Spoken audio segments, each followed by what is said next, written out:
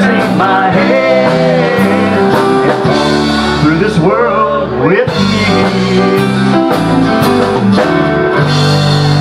Thank you. Y'all give a big hand for Justin Everett on the vocals. Thank you.